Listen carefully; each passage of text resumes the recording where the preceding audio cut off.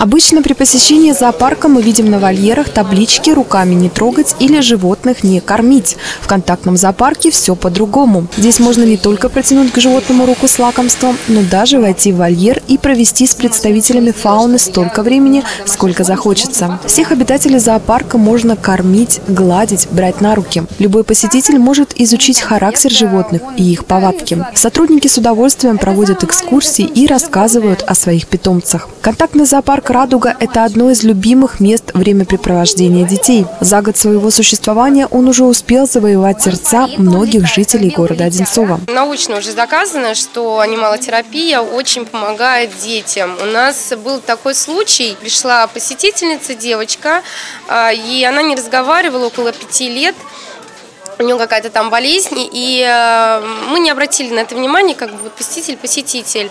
И э, она сказала, енотики, да, и мама здесь расплакалась. Еноты, морские свинки, карликовые кролики, белки, африканские ежи, насухи, сурикаты. Редко кто рискнет содержать этих животных в домашних условиях. Но благодаря контактному зоопарку можно в полной мере ощутить тепло и радость от общения с ними. Все обитатели зоопарка дружелюбны. Они постоянно проходят обязательную ветеринарную ветеринарную проверку и вакцинацию. Кроме этого, животные адаптированы к общению с детьми.